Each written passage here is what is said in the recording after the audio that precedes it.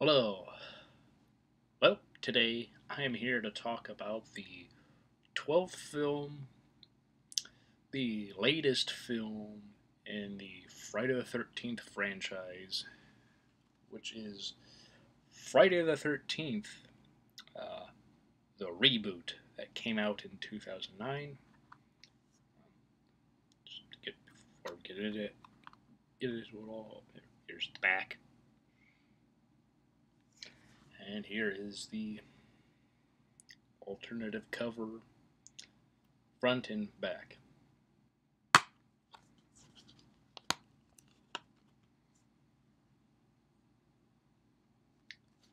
So it's a hockey mask, and there you go.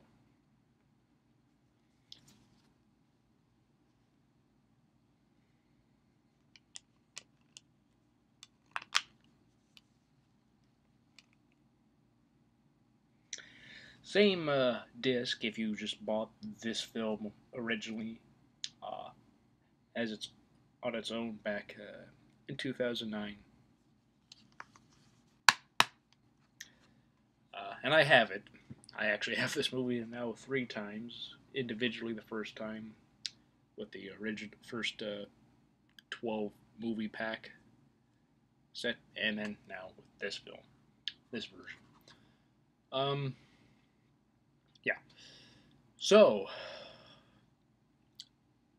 a lot of people seem to be very split regarding this film. Um, and uh, I can definitely understand why that is. Um, you know, the being a reboot in not a continuation from Freddy vs. Jason being a sequel or just another brand new film which does reference the events of that film. Um, or any sort of continuation. Doesn't, I guess, have to, you know, mention Freddy vs. Jason, um, though I'm sure people would like some mention of it. Um, in any sort of sequel. Um, but yeah, this film is a reboot. Um, obviously, in the 2000s, reboots and remakes, reimaginings, whatever you could call them, were huge with horror. Um, you know, it was a time where there were so many remakes, remakes of classic films that were 20, 30, maybe even 40 years old. Guess depending on the movie, depending on time of the new version's release, that remake. Um, the guy who directed this did uh, uh, the Texas Chainsaw Massacre remake. Um, I remember seeing that when I was very younger, and you know, it, I enjoyed it. Um, not better than the original, but you know, I do enjoy. I enjoyed that film, and uh, when it comes to this movie, um, I like this uh, quite a bit. I think of all the horror remakes and reboots, I think this is like the best, or at least one of the best. Uh, I mean, you'd have to really, I guess, I'd have to look at all the remakes and reboots of horror films, classic horror films, films that are just classic on their own, some that are part of a franchise and uh, yeah, I I just uh, I don't really uh, have a huge major problem with this film. Um, I will say though, uh, amongst the various criticisms, you know, there's some stock characters, you know. Uh, I'm not gonna say there aren't. Classic, uh,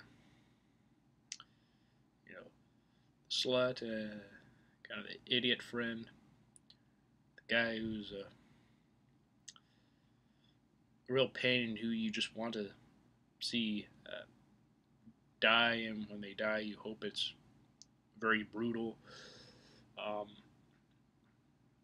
and, and other characters of the sort in this in this uh, not just franchise, but just genre in general. So, you know, this is the twelfth film.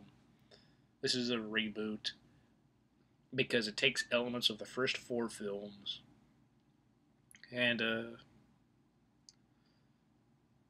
yeah, one of the first things you see in the film is uh, Mrs. Voorhees uh, chasing a camp counselor. She's got a knife, and the counselor has a machete.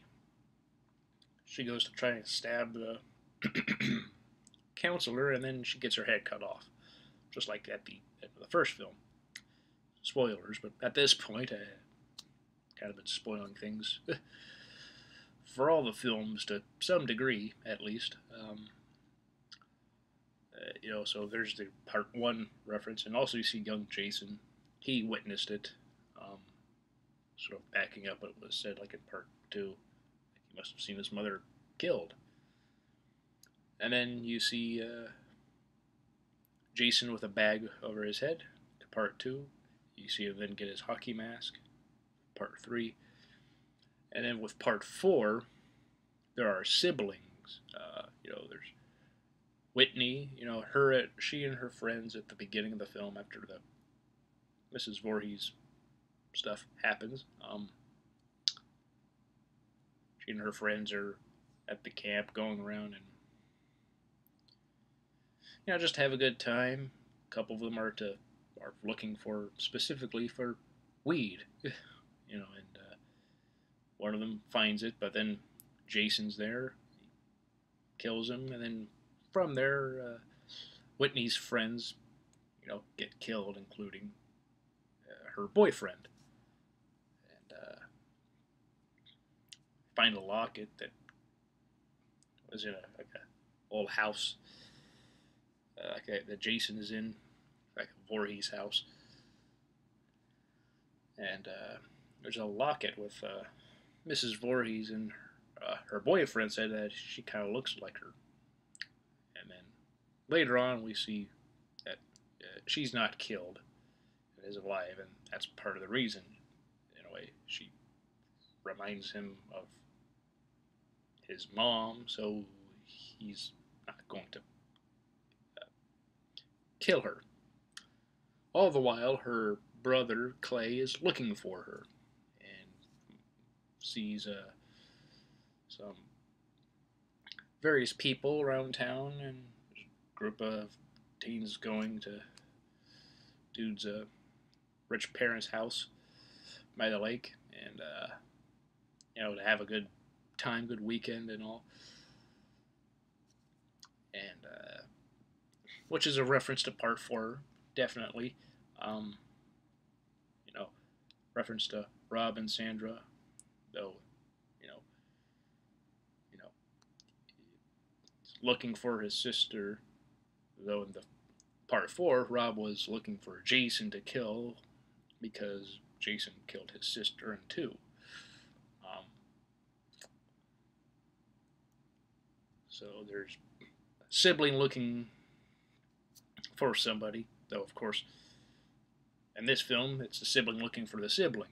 You know, he doesn't believe that she would have just ran off with her boyfriend because her mother was sick and up until she left for a weekend, she had been taking care of her for a long time. You know, she had a cancer, and then she dies, and uh, yeah. So it's one reason uh, he doesn't believe uh, that she ran off, whereas some of the local authorities think so. That's quite possible what happened, though he tells this to one cop, so you know. The big thing is he's often uh, putting up missing posters. That's really it. He's looking for any information he can about his sister. Um, and he meets some interesting characters, one of which is a guy who has been like working uh, at one of these places, and he uh, uh, gets killed. And in a deleted scene, he wore a hockey mask, and that's how uh, Jason Gotti goes and finds, sees him, and he cuts off his head, takes the hockey mask off of him, takes the hood off, and puts it on him. Now, in this, you know, in the final version of the film, both a theatrical and extended cut, because there are two cuts on this disc, just like uh, the previous Blu-ray and the DVD. Um, you know, they uh,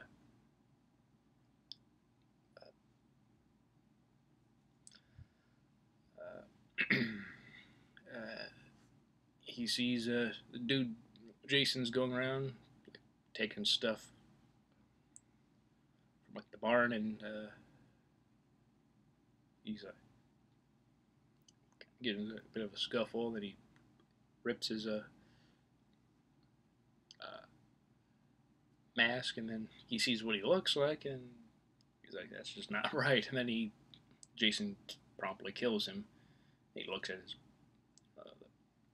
bag that he had and it's like ripped and then he sees a hockey mask not too far not or nearby and he wears that and that's how he gets his hockey mask for the film. Um uh, and you know from there a lot of killing uh, a lot of killings happen um, and yeah the sort of just various references to the first four films um, which a lot of people hail highly amongst the fan base uh, myself included. Um, you know those four uh, are truly uh, incredible movies. Um, tell a good storyline. I guess the paramount era does tell a good storyline. Um, though the first four i think are a bit better um, even though two through four were within like the same week um, yeah also i guess clay and whitney could be uh, also a reference to Tommy and Trish in uh, part four, you know, the final chapter. Um, you know, uh, just another uh, something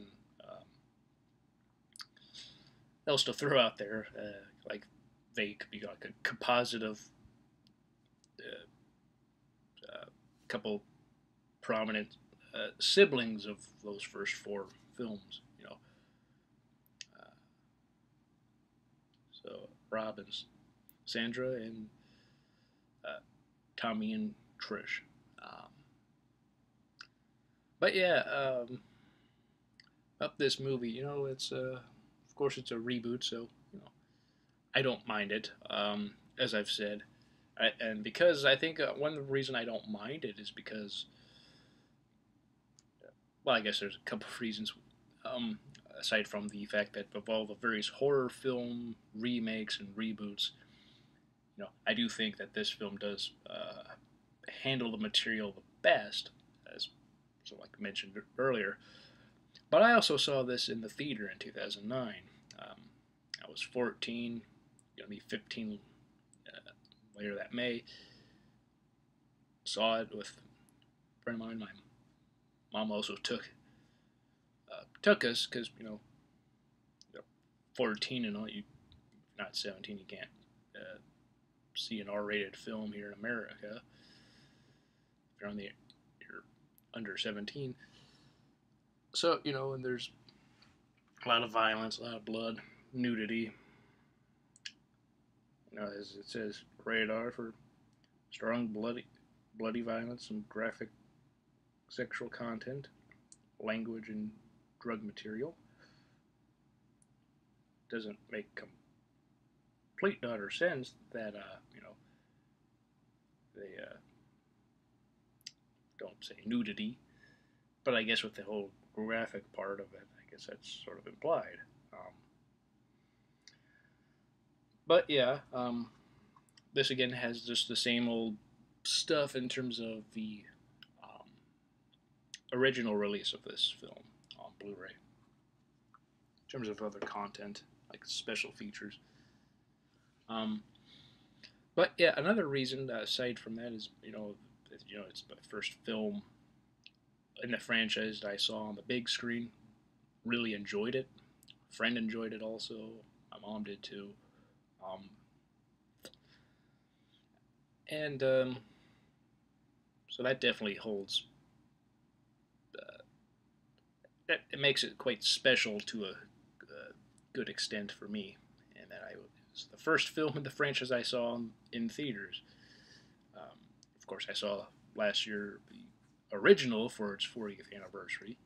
Um, but yeah, prior to that, you know, was waiting for like a sequel or a new movie, you know, after this film, which hasn't happened, and you know, because of the lawsuit, it'll take longer to happen. Um, but yeah, this film is a.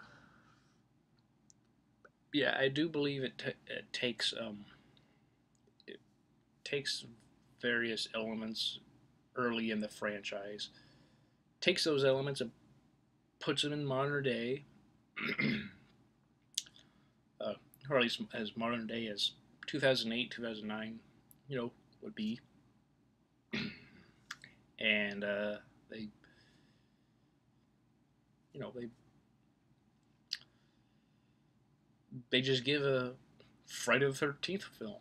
Um, really, this does feel like a Friday the Thirteenth film to me, just in modern day. Um, I don't think there's anything wrong with that. Um, I know there are people who love the '80s aesthetic and look, you know, the look and the sort of feel that those films have. Very 80s. I understand that. I get it. Um, but it's also nice to have sort of familiar elements, but updated. Um, I don't think there's anything wrong with that. Um, for some, there it just didn't, you know, didn't do anything for them. Sort of, I guess, same thing in many ways, like with other remakes or reboots of the time uh, for the genre. And um, yeah, I don't know. I just uh, I don't know. And over the years watching it, it's just grown on me. Um, it's just uh, amongst the other things like the being the first of the franchise to see in a theater and thinking it just honors the first four films very well, having moments that sort of echo uh, those films, uh, certain types of characters like siblings and such. And I don't know, it just it just works for me. I know there are people who don't like this movie, and that's fine. Um, of course, if people are new to this franchise, they might may enjoy it. Um, though for me, you know, having seen the other movies also, you know, before this film as a teenager, 12, 13 year old, somewhere around there, I saw these films for the first time.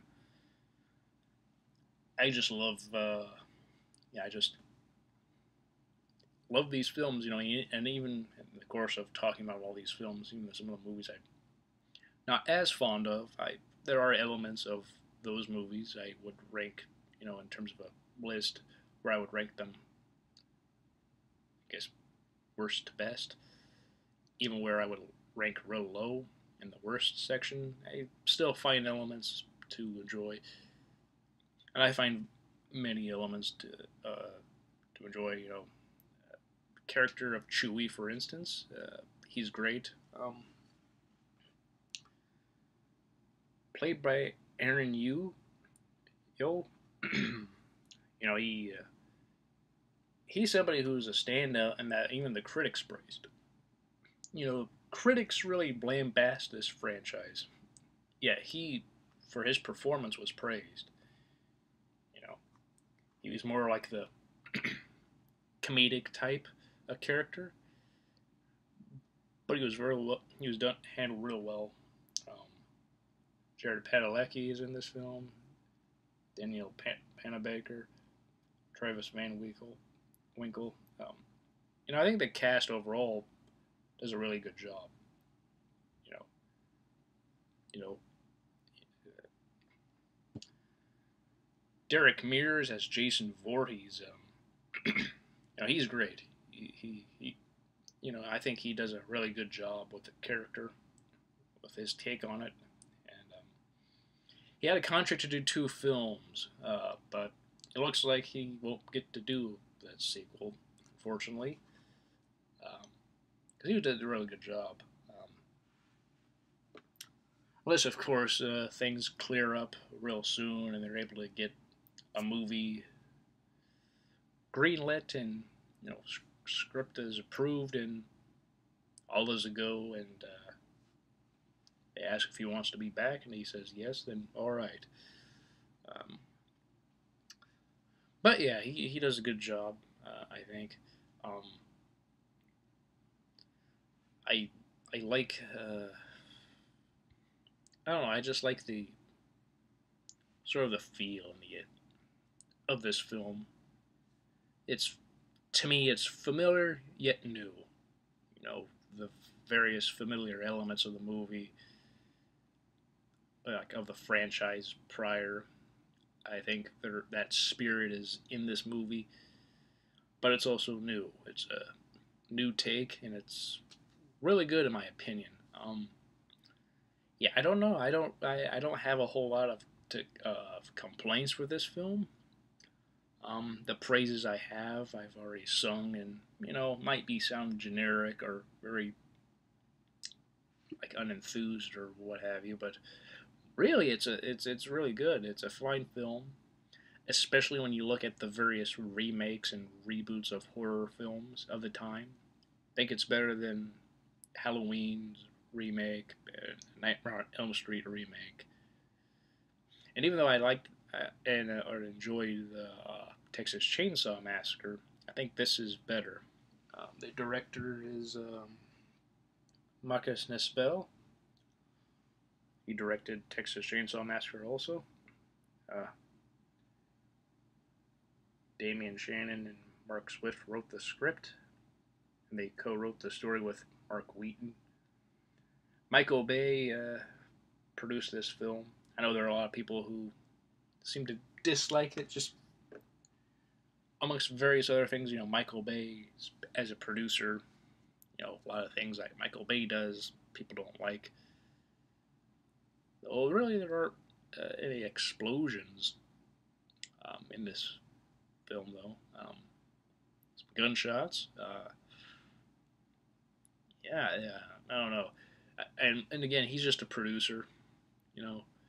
Platinum Dunes, you It's a production company with New Line and Paramount. You know, the first time they actually ever worked together, and you know, like one handled handled uh, the domestic uh, or uh, you know the American box office or or distribution, I should say, domestic. Then one handled international. So they both have share credits. It's like you know, it's a joint effort of New Line Cinema and Paramount Pictures for the first time, and you know, very likely the only time. Uh, but you know, it's kind of cool how uh, at one point these two couldn't come together to make Freddy vs. Jason in the 80s. Uh, Paramount sold Jason to New Line they made three movies, and then Paramount comes to help them with their fourth film in a way, like in terms of distributing the film. So I think it's pretty cool, honestly, that this was all able to happen. Um, it's just interesting how how things have changed and how you know, uh, you know, uh, you know, I'm sure Paramount also nowadays with people in charge just sees how uh, uh, uh, financially successful the franchise was. So any opportunity they could uh, have to get the franchise back or be part of it in any way. No doubt they, they jumped on any and whatever uh, opportunity came their way. You know, I'm sure negotiations and all happened, but in the end, uh, they were able to come together, and that's really cool. Um, yeah. Unfortunately, though, Paramount was able to get the rights back, but then they took forever to make a sequel, and this was even before the whole lawsuit thing came into the picture. And I've talked about the lawsuit quite a bit already. But yeah, it's just unfortunate that this. You know, it's interesting for a sequel. It could have been interesting, I think. Um, apparently, was going to reveal what happened at the very end of the film. Because, you know, sort of a culmination of the first three films in that there's sort of a jump scare and you don't, oh no, what? But then there's no like payoff in that, oh, they wake up or whatever and all is well, you know, you know that doesn't happen. So it's like that was that was definitely interesting. So I guess there was a plan, but you know they wrote the script, but you know we'll never know what happened because uh, that script was never produced. So yeah. Um, overall, that's my thoughts. Uh, I really enjoy this film. Uh, you know, I'm not saying it's the best of the franchise, but I don't think it's all that horrible. You know, a lot of people just, you know, just dismiss this film outright as just a reboot. Some call it a remake, though it's not a remake. If it was, Jason would just be a kid uh, in it and flashbacks, and probably at the end of the film. But you know, it's it's you know, if you haven't seen this film in a while, maybe give it another watch. You know, I'm not saying you're gonna love it or anything, but you know, it's it's not a horrible movie. It's a film that is is quite good in its own right. I think it honors the first four films uh, very well. And again, that's all me. You know, it could be I'm one of the few people who might think that. Um, yeah, I. Uh, yeah, I. I think it's one of the best reboots of its time. Guess reboots are still a thing, but you know, I guess that's neither here or there. But yeah, this is a fine film. You know, it's it's, it's grown on me. Watch it every so often. It's always fun. Um, at least I think so. It's fun to watch. I never think it's boring, and, and that's always important. You know, if a film is boring, it's then failed to do its job. It should be entertaining, and uh, and these films are entertaining, even some of the weaker entries. So overall, that's really it in terms of the individual films. Um, I will make one more video, um, but it will be about various documentaries. Um, and I guess overall thoughts. If I think of any that maybe I might want to sort of include that maybe I might have missed out on. glossed over, or just didn't think of in the in the making of all these videos individually. Um, so yeah, um, I hope this has been an interesting video, as have the others prior to this.